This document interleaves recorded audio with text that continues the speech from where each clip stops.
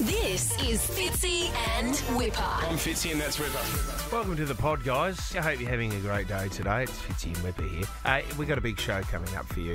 Um, I couldn't believe we got so many calls on this, but what did your partner make you change about? It could be something on your body, it's something in your life before the wedding. She wanted me to wear deodorant for the first time.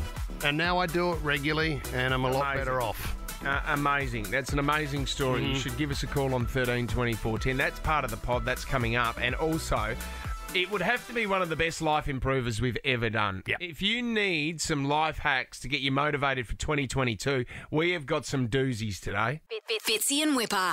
We like the life improver. How good's the life improver? Oh yeah, the life improver. Your life improver. Just li- like little ones like this one. Learn the names of 10 trees. Okay. You know what? When you go for your walk, at least you know what that what kind of tree that is.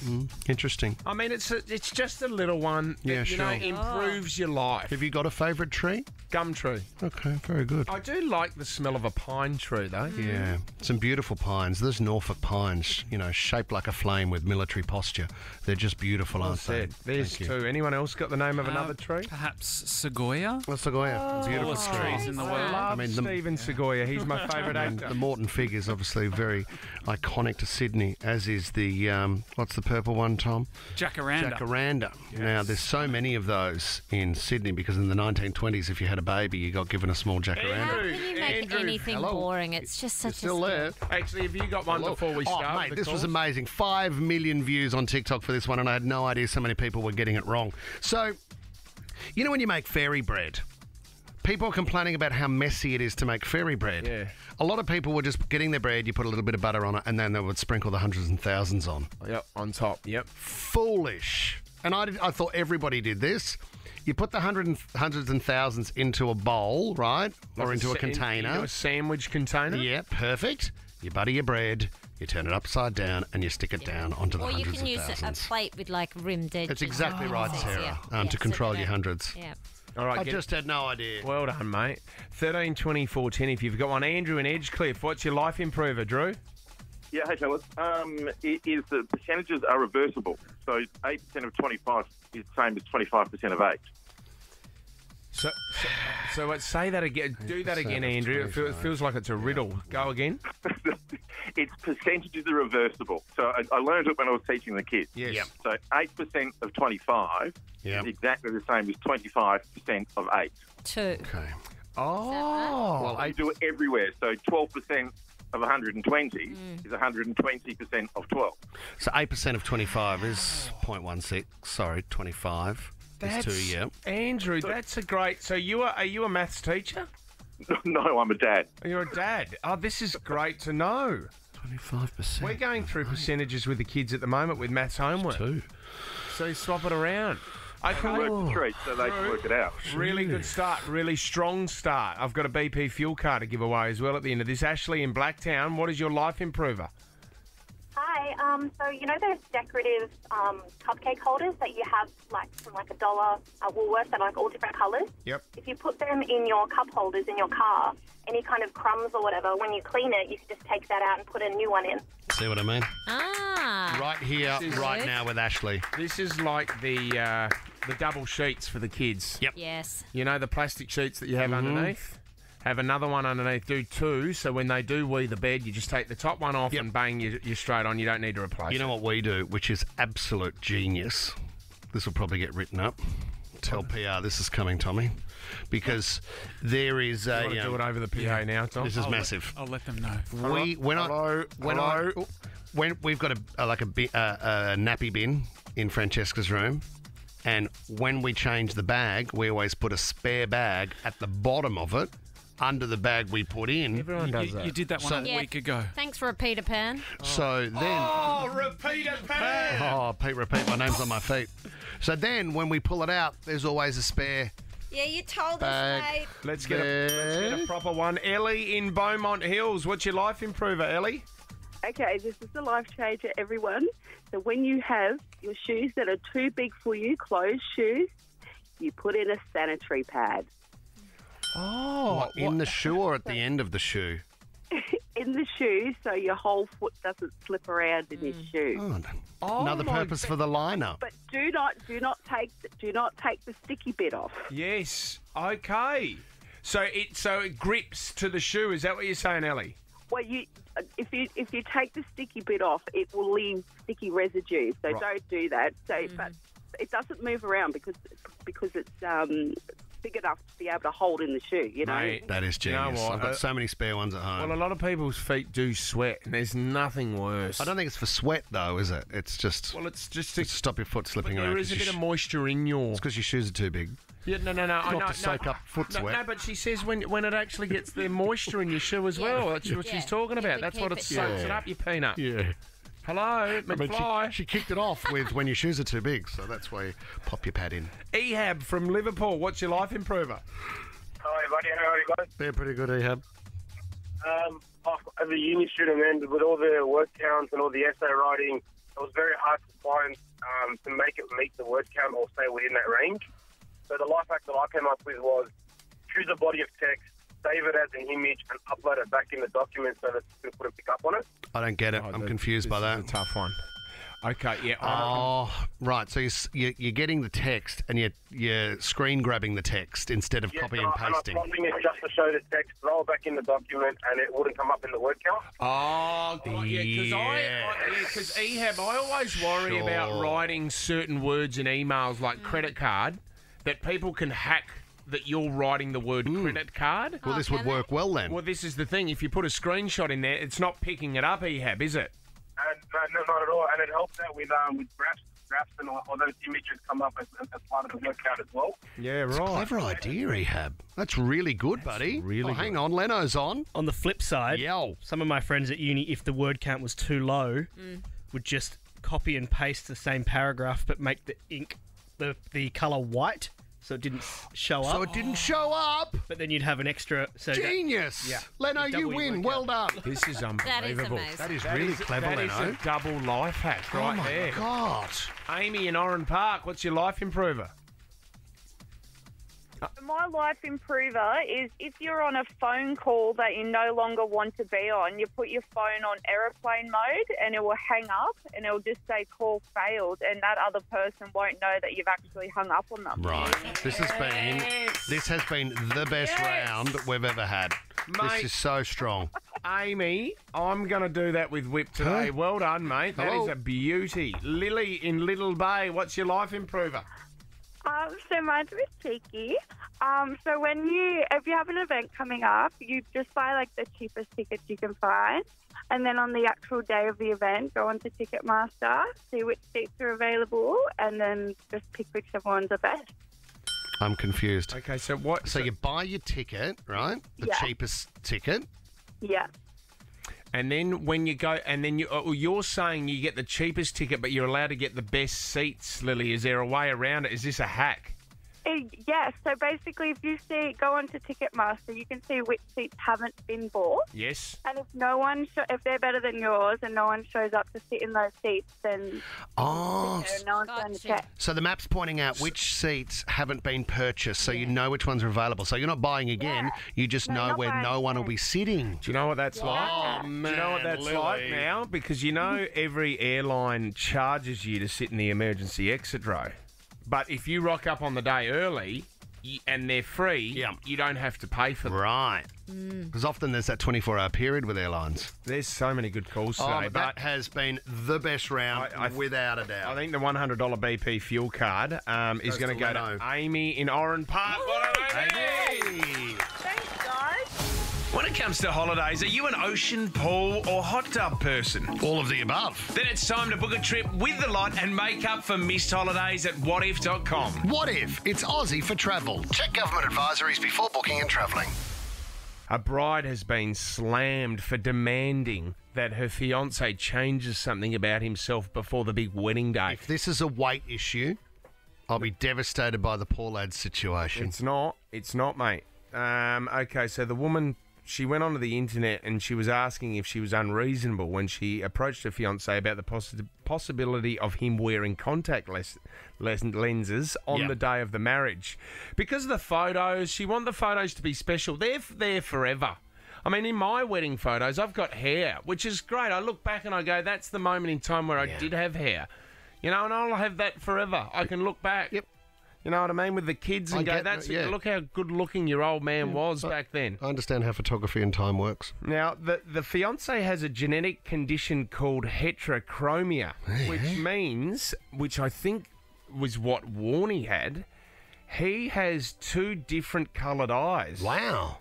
She suggested that it would be nice if her partner, who has one blue eye and one brown eye, could have matching eye colours in their wedding snaps, especially if it meant they could match eye colours between them. Oh, come on. Come on. To start with, you can Photoshop. You don't need to wear a contact Well, lens. that's- no, I agree. Um, There's so many filters out there these days that you can change, can't you? Second to that, I understand couple dressing and maybe me- uh, wearing something that pairs or matches with your partner, but I don't think anybody has ever gone, "Oh, wouldn't it be awesome if we had matching eye colour? Hey, imagine if your baby browns match mine. Oh, it's yeah, I agree. Give me a break. I, I think it's quite unique What are you to have talking different about? But she's probably thinking that the focus is away from her and on the two eyes, the blue eye and the brown eye. That Yeah. everyone's going to be looking at the wedding photo. Or are there there people coming along to the wedding maybe that haven't met him and they don't she doesn't want to hear just behind her back freak. Oh. You know, could be some old school friends or relatives from overseas. The, the fiance is livid. He's not happy at all. This is Mhm. who I am. This is who you are marrying. This is why you've fallen in love with me. So don't tell me that my beautiful blue eye is going so Yeah. you can focus on the brown eyes. My one brown eye, That's my the one wedding night we do that. It's not for the wedding photos. You know what I mean? But I tell you what, you'll need both eyes eh, open there. Tough conversation too. Just to go, "Yeah, honey, you know how much I love you. Like we have. This has been the best week of my life before we're getting married. It's quite quick. It was a quick turnaround. Yeah. But I just is it you know I love everything about you. I love I love your face. I love That, everything. yeah, it is you. But it just Yeah. is there any chance? Imagine asking if you could cha- if you could lose a couple of kgs just before the wedding. That's horrible. I mean, imagine if a guy said that to a girl. You know, a mate of mine, the guy, same guy with the Adidas tracksuit pants that had holes in them that he would wear around the pants, uh, around around the house without any underpants on. You know, when a guy wears tracksuit pants without any undies on, you can just sort of see it swinging on the crotch there. Really bad look. He also had a, quite a collection of material that had an adult nature. Well, that's fair Um, enough. yeah, and he kind of- my partner to get rid of that as he well. He collected that through his bachelor days. He played a lot of cricket as well with the lads, and you know there was a huge collection. Be worth a fortune. cricket got to do with it? You're saying Um, that cricketers are sickos. Is that what you're saying? Cricket Cricketers are sickos. You know, really strong German section Had a to few his photos collection. from Tim Paine, did he? I think he may have. Joel, Uh, how's that? Oh, Mate, not that out. is out. Tom No, I don't want that out. All the plums. All me plums. Joel from West Ryde, what did you quit before your wedding, Joel? Uh, my wife asked me to uh, quit smoking. Okay. That's fair enough. And, and did you love her enough to do that, Joel?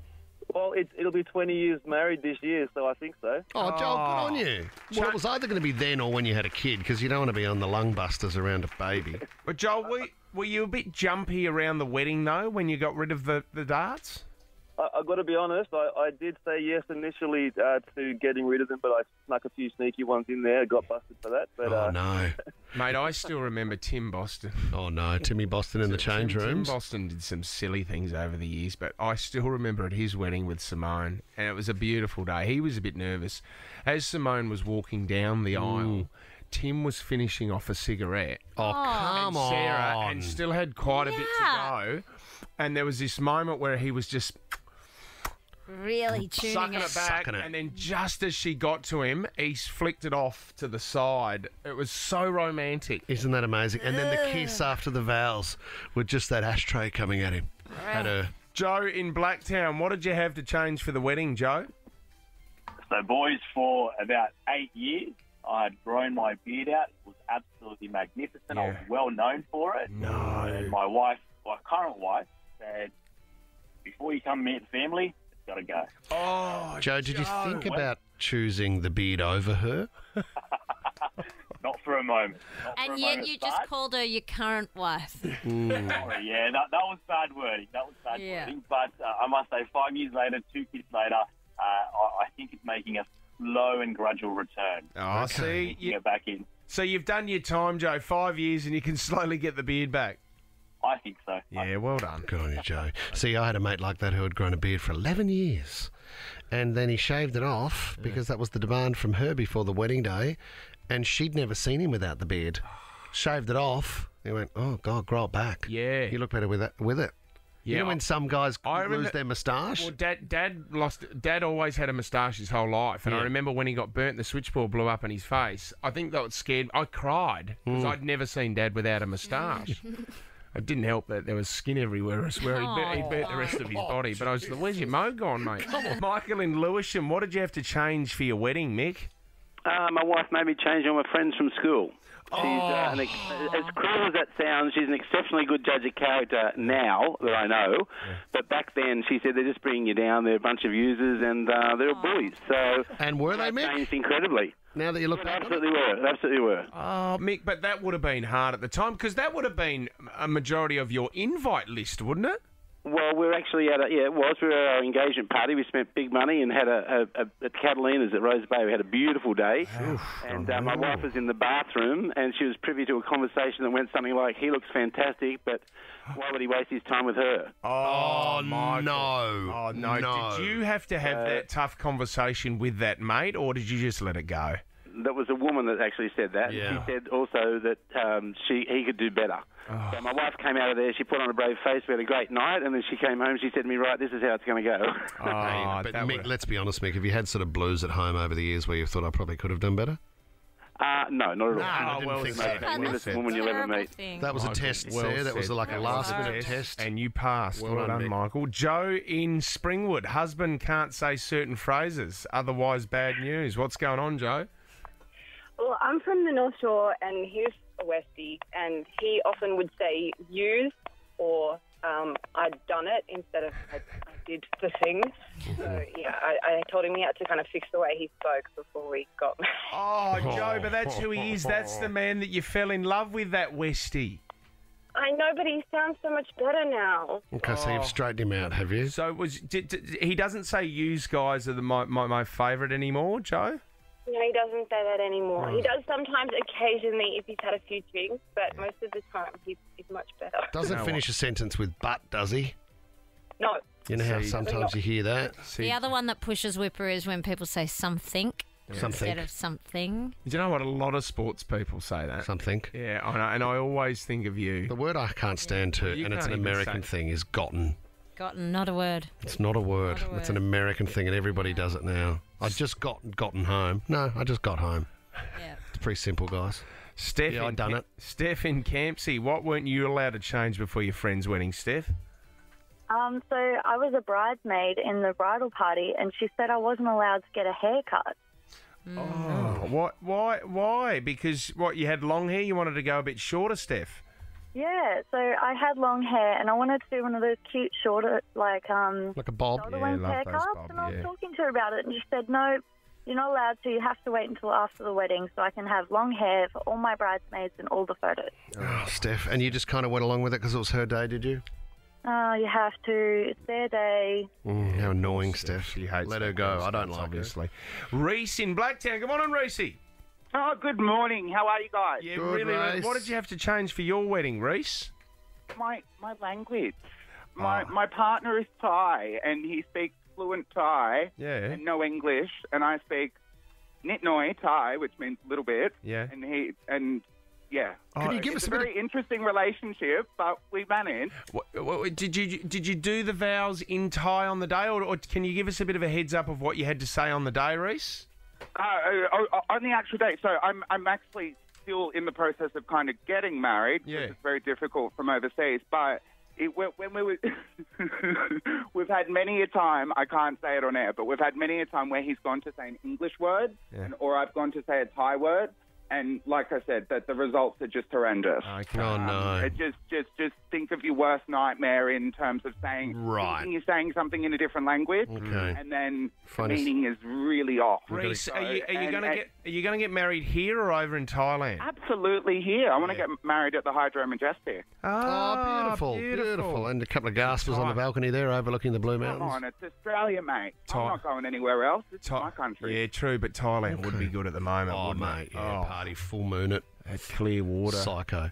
Um, do you know someone who we haven't mentioned on this topic? And I don't know how he's escaped, but the transition of second-hand salvo shop Tom oh, yeah. to the Oh, private yeah. school kid look that his wife No, adjusted him to Tom, be. My wife did throw out all of my tracksuit Yeah. pants. Tom, How much weight did you lose?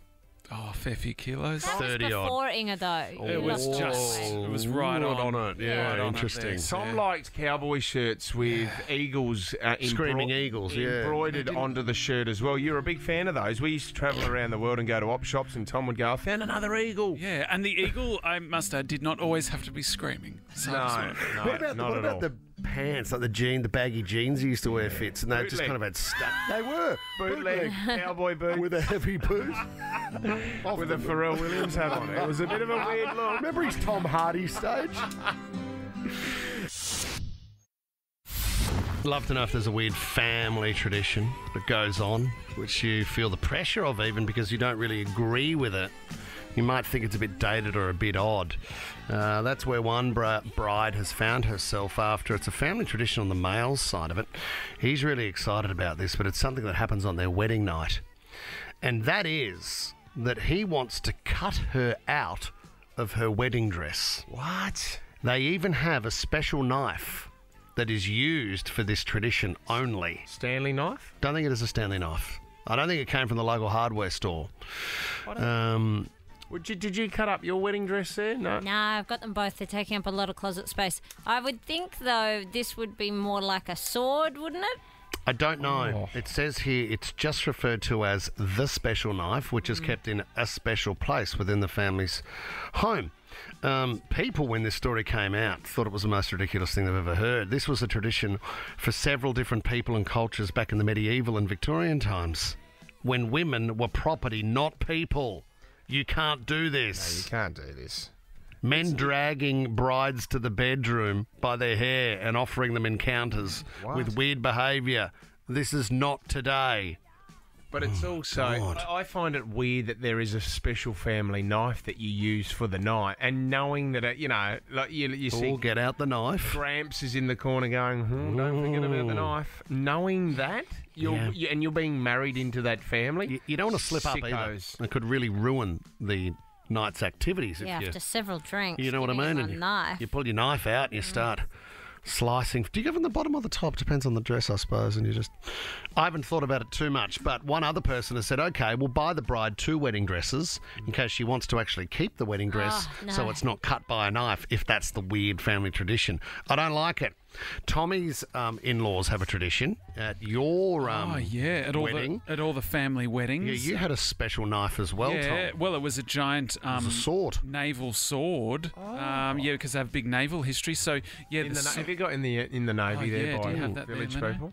Um, Tom got out his sword and cut them. Well, when my father-in-law revealed it um, at the wedding, This song was Which one were you dressed as? Which one from the village people? Construction site for sure. weirdly No, I'd he was come cowboy. As, I'd come as the cowboy, but the um, uh, yeah, when he revealed the sword, I almost felt a bit threatened. I'm not Yeah. gonna lie. Yeah. Fruit Ninja. Right, I thought it was gonna, you know, lop me he- me head off. Me, me head so, off, what, mate. so what does he do with the sword, Tom? We use it to cut the wedding cake. I thought it was quite a nice tradition. Did you like it, watched Says? Yeah. I just find it quite aggressive because it is super sharp. Oh yeah, it's a real sword. Super It's sharp. like a samurai, Where do mate. they keep it, Tom? In, in a sheath? Too personal. Yeah, it is kept in a sheath. Um, The in golden a, sheath. In in the golden sheath in a locked cupboard, guarded by LMFAO, which is Oh, what? uh, it's very Anyone that strange. gets near it gets glass.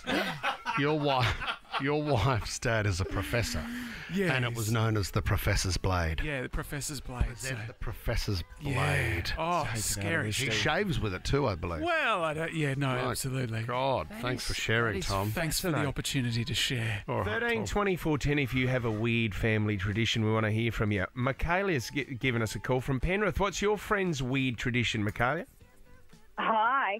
Um, my friends blow out their birthday candles before everybody sings happy birthday. that's weird Okay. you Okay. can't I- i mean it's the build up happy birthday's the the build up thing. everyone gets and then it's hip hip Hey! and that's when you do it michaelia And you're singing in the dark and there's wax all over the cake. It's just woeful. Doesn't make sense. Has anyone pulled your friend up on that, Michaela?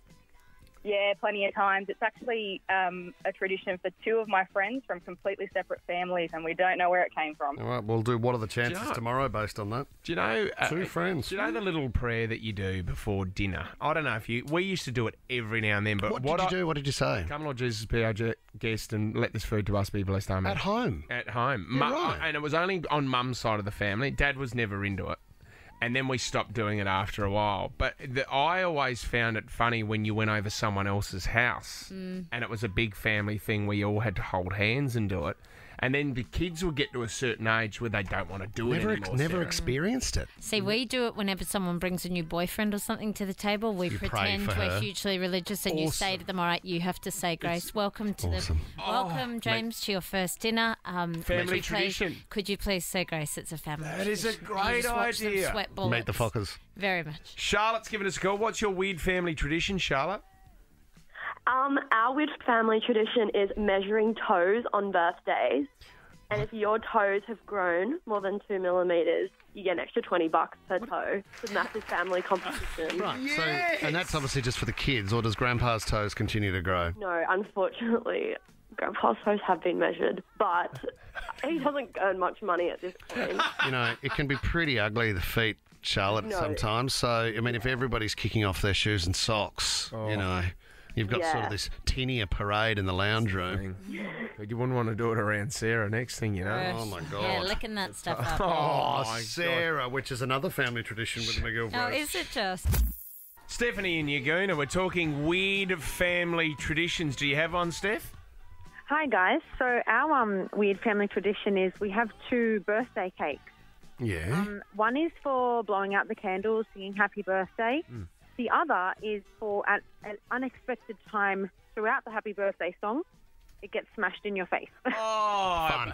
All right. But knowing that it's coming, though, Steph, are you allowed to fight back or not? You just got to accept it. you have to accept it and take it. And the annoying thing is, then you have to be prepared and not. You know, if you're out, you can't wear makeup and stuff. So. And Steph, do you know is- what though? Is that second cake that goes in your face? Is that more of just like a cream pie? Yeah, oh, it's more of a it's a sponge cake, just Yeah, a woolly got the friendly cake with spongy. cream. So you know, Still taste all right. take that into consideration. Your, your Woolies mud cake, you can't go wrong. How much are those? MDG was put it up on as an Instagram story. didn't you? Four dollars, I think. Okay, mate, Four that's, that's A good just, post. I did it for the team because I wanted you guys to have a little bit of cake on a Thursday, and I've been roasted about it for the past four years. Alana in North Sydney, weird family traditions. My family has a tooth cactus. Has a what? Sorry. The tooth fairy would always mysteriously put our teeth in a cactus in the kitchen. Oh, so they would cut what the teeth would come back at some stage, Alana. Yeah, they would. Oh well, they'd miraculously stay in the kitchen, and the tooth fairy could keep a record if our teeth were clean enough. Oh, this is a good idea. How did it begin? I'm not sure. I'm the younger sibling, but um, by the time I got around, it was well established. Actually, it's not. It's not a bad idea too to see how t- uh, how clean the teeth are when they come and then out. Tell the kids, well, oh, this one looks a little bit dirty. You won't be getting any money if you, any of your other teeth Yeah, fall out. sure. Mate, how oh, we still struggle to get the kids with cleaning To teeth. brush your teeth. How quick? I mean, don't get me wrong. We were all the same growing up, but We- Lenny we can put knock a- that off in eight seconds. We put a minute on the clock. Do you? You got to keep brushing for a minute, and I'll count you down from ten. But in the cactus, I mean, great that you can personalise it and you can get in touch with the tooth fairy as well to say, hey, we've got a cactus in the kitchen. Well done. Make sure you stick the pegs in there. Grand Prix time, guys. This weekend, Sunday, the race is on in Melbourne. MDG flying down. You know what? MDG's heading down to Melbourne tonight, today, right? I walked into the news booth. He's got his suitcase. It's the size of a trunk. It's a shipping container. Oh. And I said, mate, is the whole family going? I didn't realise you're taking the bub as well. Is Charlie heading down? I assumed it's full of toys and milk bottles and sterilisers. No, he's got three nights, three different events ready to go. Someone tell Instagram. Melbourne, t- Melbourne turns it on for Formula One week, Oh, and they yeah. haven't had it for two years. There's a city ready to party, and I'm ready to join them. Do you know what, MDG? I was down there the other night and I stayed at the Pullman, which is right across from the track. Mm. And you could see just a couple of cars driving around. You could see the punters starting to warm up. Yeah. Melbourne is ready. What event have you got tonight, mate? So tonight is uh, the glamour on the grid. Must so be. it's a party on the actual start finish line. Where uh, you're supposed to wear uh, an elevated suit, and Melbourne takes their fashion a, Don't little they? bit more What's seriously. Bronte, what's Bronte wearing? Yeah, no, someone has to look after Charlie back here in Sydney, so we couldn't both make it uh, down to Melbourne for the week. So that's Can a I- shame. What's an elevated suit? Yeah. So you take a suit and then you uh, you elevate it you elevate air. it. I, I, I walked into MJ Bale yesterday and I said to the guy, I said I need to wear an elevated suit, and he goes, "What is that?" I was like, "I don't know. Give me a As suit with a suit with a feature, you mean? So something that pops? Yeah, so I've got a, a red velvet jacket. You know what I mean? Oh, that's elevated. We're elevated. I think Fitzy wore one of those last week as a joke, didn't he? I think I, I think we both did. He elevated that Yeah. maths event. Oh, you'll, be, you'll be levitating, mate. You'll be, Wow. be off the ground with excitement. Look, you gotta you gotta meet Melbourne with Melbourne. I hope it doesn't get cancelled, mate, because the article I'm looking at here. This was 2020, guys, when Robbie Williams uh, was cancelled at the last minute, the day before. And the Grand Prix, sorry, Australian uh, World Touring Melbourne is suing the Grand Prix for $8 million in losses. That's the money they want because they had to pull Robbie Williams from the world stage that would have been performing for the party of the Grand Prix. Why, why did they? Why did they get rid of him? Well, Because it was hit. shut down. They didn't go ahead with the Oh, Grand Prix. okay, got ya. But you can't Whole really sue, can you? Because COVID, like, there was no oh, choice. Oh, Man, that's a tough one, isn't it? And does Robbie actually care, or do the organisers care? Like Robbie probably went, actually, you know what? I'm good to stay home right now. You can't ask for your money after that. Yeah. Depends what it said. I mean, there would have been like renting a house. We've got a 30 day cancellation policy, right? For, for a disease that none of us know about that's going to sweep the globe. I mean, you're right. Robbie, when he got the phone call, lying in a hotel room, he's probably just had the club sandwich. Hey, Robbie, the gig's off tomorrow night. No way. Who Well, I- I really needed the cash to get through next week. Yeah, he wouldn't have given us stuff at all. You can't sue for this. this well, you is can not- because of losses, is what they're claiming. What- what- $7.5 million in losses because Robbie Williams did not perform and the event was cancelled. What- who's the big act this year Yeah. in DG? Who's performing? I don't actually know. No, to be totally honest yeah. with you. So you- uh, the- the- Shannon Noll, I think. If you can get Nolsey and Guy Sebastian in the same the room at the same time, now we're talking the motor racing. biggest, well, the highest attendance for any gig in Australia ever was the 1985 Adelaide Grand Prix, and it was Bon Jovi. 200,000 people on the straight. Bon Jovi. Bon Jovi. Awesome. You can imagine after a big So day all of, of- racing. All of Adelaide. Yep. All. yeah, funny mate. All Um, that, that, that is a. What, what, uh, it's a smart move. Why wouldn't you open up the whole Yeah. straight Yeah. and everyone was there, just goes and gets a free. Well, you get a free concert at the end of the day. That's How the way to would do it. Oh, have a go at the lineup here. Yeah, what do you so, got? Friday, the Rubens headlining. Saturday, Peking Duk. Sunday, Bliss and Eso. I mean, pwah, look party. out, Bon Jovi. That is a party. What is? Come on, they couldn't get it. See, no, you would have had to have booked local to Yes. ensure they could be here after, True. especially if they're suing for eight million. You wouldn't want to risk it. Next They're year, you'd nervous. think would be See, international. Foo Fighters played a couple of weeks ago in Geelong. Yeah, Good. I mean, it's the Grand Prix. It's not like they're, they're struggling for cash. Great to see too the Daniel Ricciardo um, glass shoey, which you can now decant your wine into. I know the big guy has ordered one, which is great, mate. Congratulations, yours is on the way. Yeah, $700 well spent. And the shoey tradition continues. Do you see at the, um, I'm not sure what they call it in the AFL um, W for the Brownlow they had last night. Yeah, Um, Craig, uh, Craig Starcevich is this the Brisbane coach. Yeah, the coach of the Lions. Got the boot straight off because his player won, Yeah. and bang, he's just Gross. tipped one down the throat from the shoe. Well done, Stars. It's still continuing. Now, a lot of people thought this was an April Fool's joke. Dyson, one of the biggest companies in the world, revolutionised vacuum Oh, cleaners. yeah. British. They're British, isn't it? He's a sir, isn't he? So, that's a vacuum cleaner without any cords on it. What? you mean a really big dustbuster?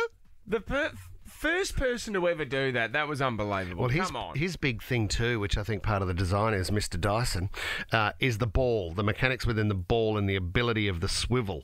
I think he did, Tommy. Correct me if I'm wrong. How many prototypes to get the Dyson vacuum cleaner to where it is? I think it was 5,000. So he built it 5,000 times and kept tweaking it, and he'd just make one tweak each time amazing. Yeah. That's to, to identify Tom, how. it? yeah, so it was the first bagless. And th- bagless, that's right. And yeah. then he spent two billion dollars to start an electric car business, but got into it and realised you need successful sales of petrol-fueled cars alongside your electric for this to be commercially viable, and that money went missing. Okay, Tommy. So, how many tweaks have you done on this show? Yeah, Was that about close to five thousand? a day. All right, Good okay, yeah. so we're getting there. We're in the. Dyson zone, guys. Wow. Um, okay, so this is so. All right, let's focus on headphones, and we know how big that industry is at the moment. And I mean, I've got my Apple headphones on at the moment. I love headphones. I'm addicted to them. I, I if, if a new brand comes out, I, I- I'll go check it out for sure. So this is the new Dyson one, and obviously travelling to and from work. Um, a lot of people are on trains. They're on public transport. They've actually added something to their headphones. Clean air, quality sound, on the move. Air purification inside a set of headphones.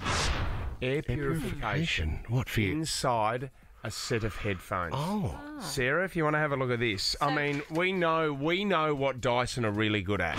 There's a great mix of things that Dyson have already tackled filtration, acoustics, and airflow. It's just about putting them in a smaller package that is wearable. Okay, so for anyone out there, basically what it is, it's an amazing pair of headphones that wrap around your whole ear, and then from the front of those headphones, connected to it, is like an It's like a mask, It's isn't a it? it's a mask that goes over your nose and your mouth, and it's an air purifier. So it's got air filters in the mask attached to your headphones. And then where does the air that you breathe out do, uh, Goes I'm into your vacuum cleaner at home. Well, thi- no, this So is does it dispel out the bottom then? No, there's a there's a little air pocket inside of it, Sarah. So I think Right. there will be filters that you would need to replace at certain stages. Pretty clever given the current issue around masks. Well, you it actually looks like you. Have has anyone seen the movie Tron? Yeah. No. Tron? Looks like a Tron. It's like, yeah, it's like a mask, Tron yeah. helmet. Anyone seen Silence of the Lambs? It looks a bit look more like that. Oh, it does a little bit. He's on the stretcher Yeah. as he's strapped into the So stretcher. it, it's an. It sounds amazing. Like I would lo- love to have Mm. pure air as I'm going to work Wow. and listen to my music. But the thing is, if I'm sitting on a train like that, yeah, how many looks am I getting? Just a couple. Bit scary. Would be good on a plane. You know, when you're sitting thing, on the plane, like- it gets a bit yuck. Yeah, it does after a long haul, says. It looks like a travel product. Mm. I mean, Dyson also did the bladeless fan. Yeah.